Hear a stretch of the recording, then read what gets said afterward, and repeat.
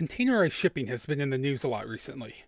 As luck would have it, I had already started on a related project, making a one-tenth scale shipping container. I have no particular need for one, but they're fascinating objects. They kind of exist outside of time and space as we normally conceive of it, like very slow teleportation. A truck picks them up, they disappear into the shadowy realm of intermodal transportation, and a few weeks later they appear on the other side of the world. This is my ode to these anonymous objects that have reshaped our world. This is a basic 20 foot box, 20 feet long by 8 feet wide by 8 feet 6 inches tall. There is quite a range of different lengths, with 8, 10, 40, 48, 53, and even 60 foot models now available. Height and width aren't as variable though, as those are more constrained by things like the size of railroad tunnels. You can look on Wikipedia to see all the weird variations if you're interested. The important thing to know is that cargo capacity is quoted in terms of a 20 foot box. TEU, 20 foot equivalent units. So when you see a ship that is said to carry 20,000 boxes, this almost certainly means 20,000 TEU. The number of actual physical boxes will be much lower than that, as most will be 40 foot units. The idea of making a scale TEU, a 20 foot equivalent equivalent unit, if you will, had been simmering in the back of my mind, the way ideas do, until I picked up a box pan brake for the new shop. See, I knew I could machine everything except the corrugated sides.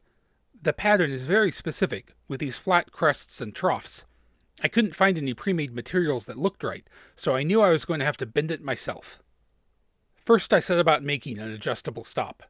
The exact angle of the bend wasn't super critical, but it did matter a lot that they were all the same angle. I needed precision, not accuracy, and luckily that tends to be a lot easier. I decided a simple slotted plate that could bolt on in place of the apron angle iron would do fine. And it did. With this in place, I tried making the first test piece. To do this, I needed to describe dozens of lines 7 millimeters apart on both sides of the sheet, using a height gauge. Slow and tedious, but I figured it would be worth it if it worked. It did not work particularly well. Getting the fingers to clamp down exactly on the line was really fiddly, and the bends ended up being much mushier than I wanted. The problem was that the apron which bends the metal was a bit wider than 7 millimeters. So while each bend started reasonably crisp, this got messed up by the following bend. Since I wasn't going to replace the entire apron, I accepted this as a basic constraint. I tried bending a sheet using the width of the apron as the crest and trough width. This made the corrugation slightly out of scale, but not unacceptably so. The results were a lot better, and it went by much faster as I wasn't using the scribed lines at all, just lining up the previous bend by feel. I thought this would be improved even more with the addition of a guide to keep the sheet perpendicular to the brake. Since it was critical to keep everything perpendicular, I first drilled these bolt holes on the mill so the two pieces could be screwed together. Then I welded in the side piece. The overhanging lip locks it into place on the apron. Using this, I experimented some more, and some more, and some more. I was trying to adjust the fingers on the brake to give it a consistent bend across the full width, and I just wasn't able to. This is a used brake, and the fingers have seen some use. Because of the width of the sheet, it had to span three different fingers, and getting them all perfectly aligned with each other seemed impossible.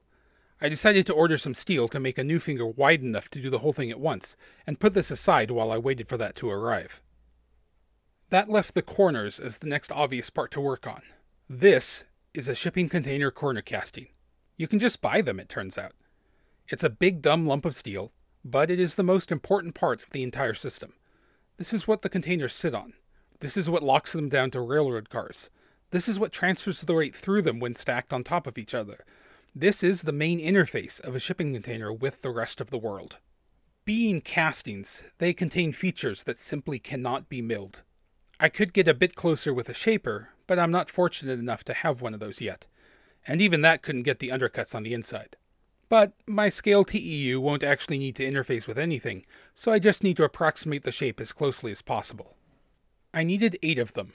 Four left corners and four right corners. Eight times anything takes a long time to get done, but at least I could production line them, doing each operation on them in turn before moving on to the next. I even managed not to get confused by the mirror symmetry. I was careful not to do the machining too well. If you look at the real one, the tooling marks on the three machine sides are plainly visible. Like all truly well engineered items, These are manufactured to exactly the right amount of precision needed without spending one cent more. And here they are, eight completed corners. I'd hoped to get further with this project before the first video, but oh well. The first full philosophical reactions video will be out next week, and then part two of this project should follow that. Cheers!